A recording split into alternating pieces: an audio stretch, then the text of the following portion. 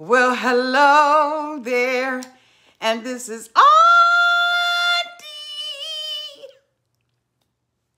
Auntie.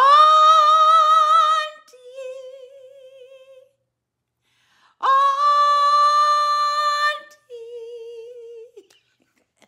Y'all know I have been trying to get this thing to work for so long. I just did. Oh my God. We ain't even to talk about it. Anyway, hey, y'all. I am sitting up here looking like a whole Christmas package. Y'all. It is the first day of No Stop November. And I am going to try it again next year. Yay! If this is your first time being here, please like, comment, and subscribe to my channel. To all of my new subscribers, thank you all so much for joining the family and to all of my nieces and nephews who have been here with me for the long. Thank you so much for your continued support. Y'all, oh my God, did y'all see the blooper? If you haven't already seen the blooper of me trying to do this video earlier, you've got to go and see the video. It's like two or three minutes long. I was trying to do Darcey and Stacey, and then my little puppy, Maisie, decided that she wanted to say something. So I have my little green tea, okay? Mm, let me drink a little bit of that. Cheers. Clink. To No Stop November.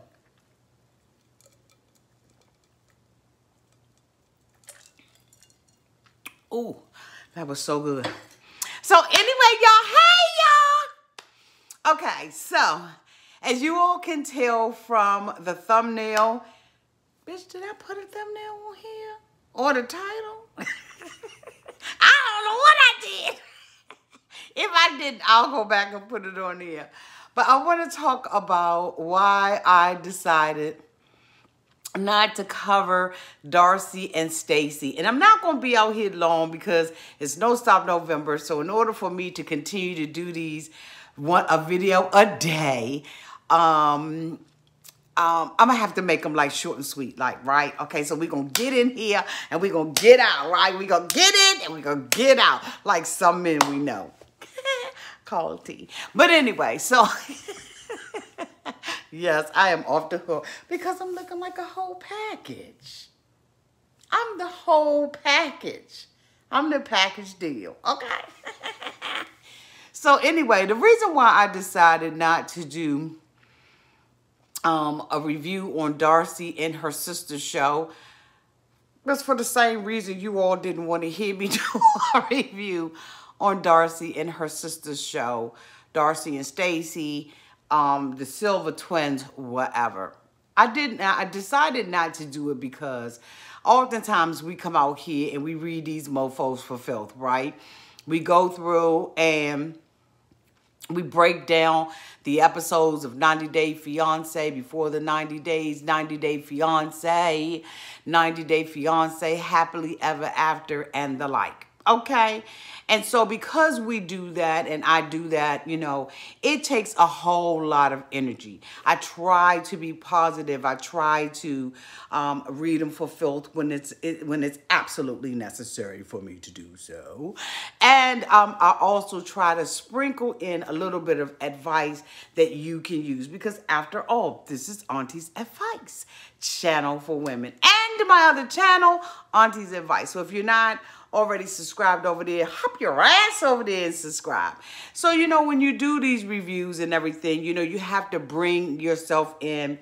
You got to try to, you know, um, talk about all of those subject matters that are important to the viewer and um, some of those um, uh, those things that are important to you as well. So when I looked at the Darcey sisters, I said, you know what, let me go ahead and try this. Now, as we all know, TLC is monopolizing the out of everybody's time. You know, really, I heard someone else say it and I, I agree with them. Um, they said that, you know, on Sundays, night, um, um, um TLC takes three hours away from your time, okay? They have 90 Day Fiance the other way or Not Happily After After. That's two hours. And then they go into a pillow talk, which is something that myself and other content creators have been doing from day A. We've been the one who's been reviewing it. They've also thrown in some new show called 90 Day um, where the stars, I mean, the cast members come out and talk about it. Like, that's monopolizing a whole lot of your time. And so when I look at these shows now, I have to look at them and make a decision, you know, whether or not I'm going to cover them and whether or not you all are even interested in me covering those damn shows, right? And so when I looked at Darcey um, from day A, as you all know, back in the day day when when Darcey when the first year Darcey appeared on 90 Day Fiance I had the opportunity to interview Jesse Meester I am going to try to put that video on here but I'm an old bitch so I don't know how successful I'm going to be at doing it. But anyway you can go to Auntie's Advice channel and check it out. Interview Auntie interviews with Jesse Meester at that time, Darcey was new to the screen, so was Jesse, And Darcey had, you know, went to go and visit him and all that kind of stuff and was drinking alcohol. And it seemed that, you know, he was, you know, extremely controlling. He had said some things that, you know, people just really won't feel him, right? And so as a result of Jesse doing that, I decided, you know, I did not believe the storyline. I didn't believe what I was seeing on TV. So I thought, you know what, let me give this mofo an opportunity to clear his name. Well, needless to say, the bitch came on there and told a whole bunch of lies because as the episodes begin to play out, we begin to really see the real Jesse Meester. And so as a result of seeing the real Jesse Meester, I came back out a couple of weeks later and, you know, read him for filth. And I'm talking about dog filth, right? And so the relationship between Jesse and I um, um, ended, okay? And it was a relationship I needed to end um, frankly, to be honest, because even now when I see Jesse, you know, um, always inserting himself in Darcey's affairs and stuff like that, I, I, I just, you know, I have no respect for him whatsoever. But anyway, the next time we see Darcey, she's dating an individual by the name of Tom. And we don't know how many mofos that Darcey has dated in between them. We just know the ones that's made it to television. But anyway, she started dating this individual named Tom, who she alleges was her friend at first, right? Hold on, y'all. Let me sit up straight so y'all can get the whole package. okay. so anyway, Darcey, you know, started dating Tom. And of course, she was the same train wreck, in my opinion that we all have become accustomed to looking at. And then on top of that, she started adding her sister, Stacey, into the mix, who was dating an individual by the name of Florian. So when I looked at the combination of these two women, and I thought about myself and you.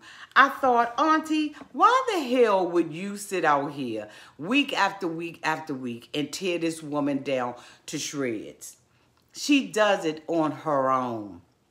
Now, I have been looking at social media. I've been looking at Instagram. Sometimes I look at other um, um, social media people. I mean, like YouTubers. Most of the time, and I don't. Hi, Westsock. I look at Westsock, though. Okay. Hi, cutie. Um, but anyway, so... I, I, you know, I look at them and I saw that number one, Florian had cheated on Stacey. Darcey and her dad knew about Florian cheating on Stacey and Stacey married him anyway. Darcey's dating some guy from Washington, D.C. and thinks that he has brought her some flowers from some country. And he traveled four hours, three and a half maybe, to New York. Where the, did he get the flowers from? Then we see that Darcey's engaged to this mofo. Now on social media, the two of them are, are unfollowing one another. And, in, and they're angry.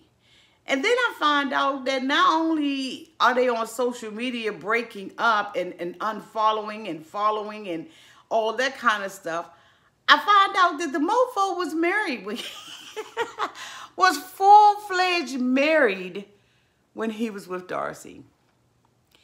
And so again, why didn't I cover it? Because this is not indicative, okay? And it does not describe and it does not represent the everyday woman. This bull crap right here that Darcey and her sister find themselves in, in my opinion, are women who are broken, lost, and ready to be tossed. These women, in my opinion, represent the worst of who we are as women. Point blank and to the period. So why would I, being the auntie that I am, come out here week after week and tear these sisters down when we need to be trying to build one another up? There was nothing good that I can say about these moms, about these girlfriends, these wives, these sisters. I saw two sisters who were totally at war with one another. In the beginning, I watched the very first episode. I did give myself that opportunity. I watched the very first episode, and in that very first episode, Darcey and her sister begin to talk about how they were bullied in school, how they were outcast by the other people. And this is probably why, you know, because they had dark hair, dark features, they just didn't like the way that they looked. Hell, I got dark hair and dark features, and I love, bitch, I love this woman right here. But when I began to listen to them and them talk about the bullying and the isolation, the rejection that they experienced in school, I then understood their relationship with one another. These two sisters bully one another. They have taken the very behavior that they thought was inappropriate and broke them down, and they are now perpetrating that same behavior onto each other. We can say that it's competitiveness. Absolutely, we can say that they compete with one another. But in my opinion, I saw two women who wanted to continue to bully one another, to, to, to talk about the way that someone looks or their outfits or um, their boyfriend, their selection in men. And I just was like, I cannot be a part of that, given the fact that I already will read a bitch fulfilled anyway on a regular. Let me check out this super chat. Thank you so much, Inu Blue, for the $5 super chat. Love you, Auntie. Love you, too. These two sisters are bullying one another. They are doing the same thing that happened to them in elementary, middle school, and high school when they should be sisters with like minds and like hearts, support one another, endorse one another, they do the absolute opposite. If one of them got dirt on the other one, they make sure that they smear it in their faces. Even given the fact that Darcey knew that this young man was dating on her sister, was cheating on her sister. Instead of her taking that information directly to her sister, she made it go all the way around the neighborhood to cause her sister further embarrassment, in my opinion. What sister, what twin does that? If you have the heart of your sister and the heart of your twin, then guess what you're going to do? You're going to be ride or die for them. Darcey called this, this individual woman on the telephone and began to berate the woman and try to, you know, force this woman to say something that the woman did not want to say. And for what? To throw it up in her face? To, to because she's jealous and angry because she at the time didn't have that. And then as soon as Darcey gets with someone, Stacey's the same way. Where is the sisterhood in that? See, a lot of times we come out here and like I said, I read them for filth, but we're talking about the show. We're talking about what it is that we see on television. But me as a woman with all good consciousness, I just could not cover that show. And I thought that a lot of it was fake. Directly after the episode ends, there's a People magazine article that is done indicating that Darcey is engaged to this alleged married man.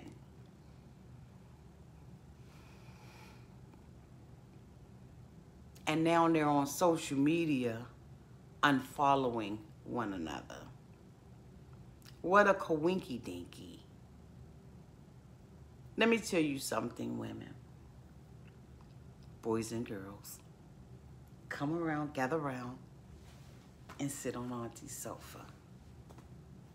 Your life is more than this. The antagonizing, the bullying, the competing. Let me put my glasses on. Thank you so much, Ronnie, for the four ninety nine super chat. You always keep it real, Auntie. Love you for that. Those women need to have a conversation with you and get themselves together. Thank you, sweetie.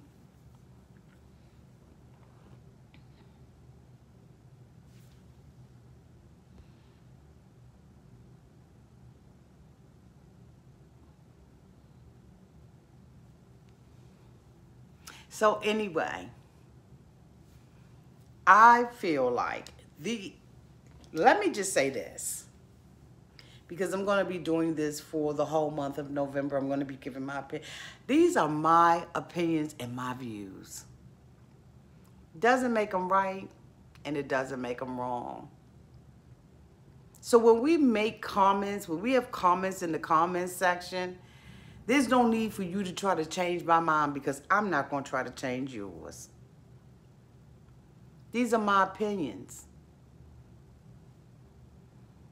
Point blank, period, poo. And I believe that the sisters don't encourage one another. I believe that the sisters have very low self-esteem and do not represent me or most of the women who follow me on this channel. Now, if you see yourself in those shoes, that's your problem. If you see yourself being able to understand, to to to to um, um, sympathize with them, that's on you. That's totally on you. But I've never lived my life like that, and so I can't understand it. And because I can't understand it, and I've never lived my life like that, and I don't believe that that is the way that a woman should represent herself with a man, multiple men. One of the men I interviewed that she was dating at the same time that she was dating this guy, allegedly, who she was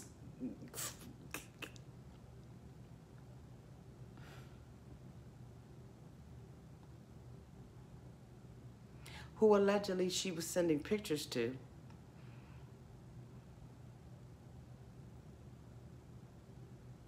I don't see this woman, either of them, being anything positive. They definitely wouldn't be women that I would want my daughter to emulate. And I'm hoping that they're not women that you would want your daughter to emulate.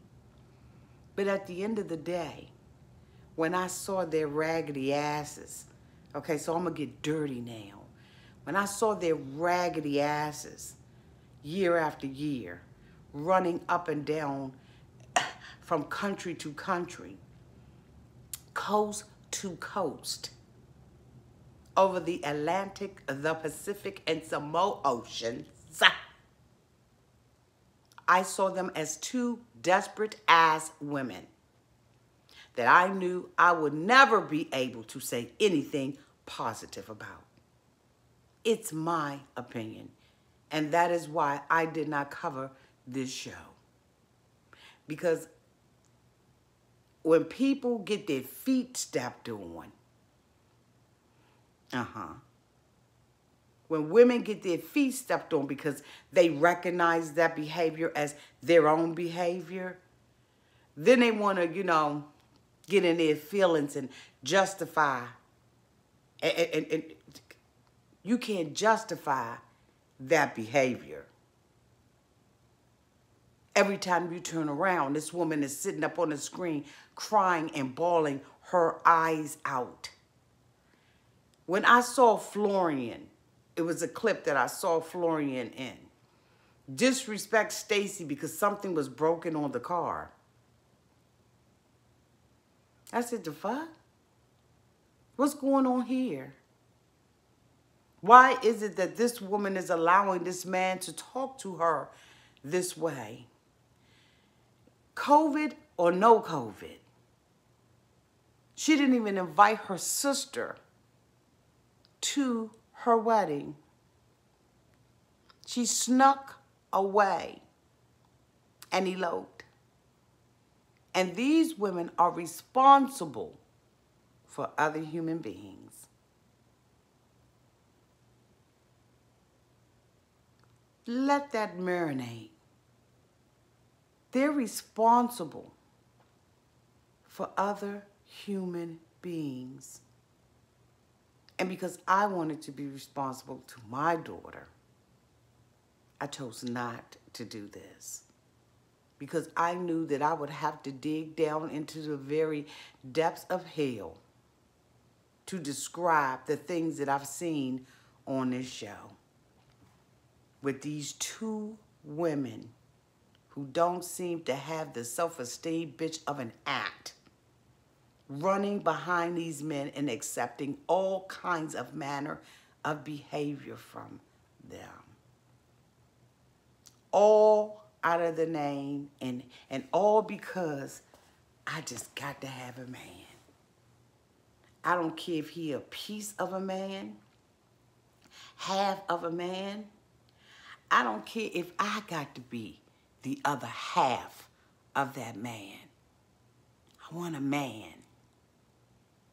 See, because when you don't make that man stand up in his, his grown man, then you become half of who he is. And that is not our role as women. Period, Poe. That's not our role. To take on masculine attributes and masculine characteristics and masculine duties because our men, the men that we choose to have in our lives, won't do that.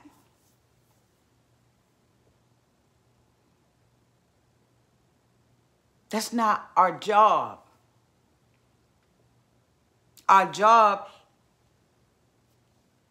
we're going to have to talk about another day.